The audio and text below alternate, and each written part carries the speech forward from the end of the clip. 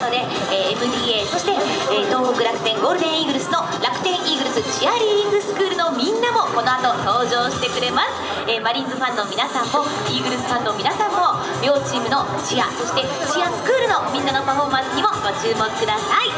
さあそれではダンスショーはまだまだ続いていきますので最後まで一緒に楽しんでいきましょう。それでは続いてはこの曲。